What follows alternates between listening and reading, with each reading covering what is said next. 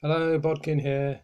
If you've recently had a rise, pay increase, advance, don't make the mistake of spending more money.